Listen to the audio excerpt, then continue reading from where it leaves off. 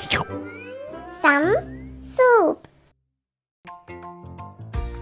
Put some carrots in the pot.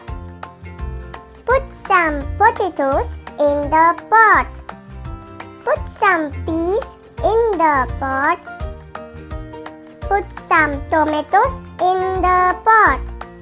Stir it up but be careful. The soup is hot.